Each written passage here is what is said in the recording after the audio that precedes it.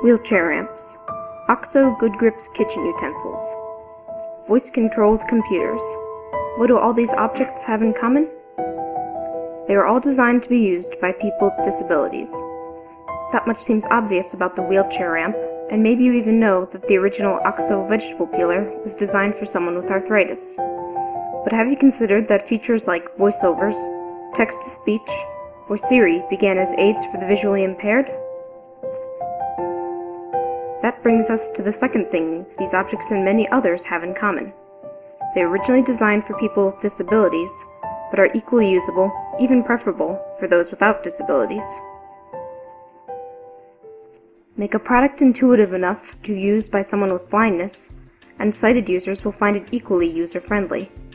Design a wheelchair so sleek, people who can walk want a version without wheels for their living room. They already have people who don't need glasses wearing them as a fashion statement. Why not make every product as usable and desirable for both people with and without disabilities? When you design for the minority, you design for the majority.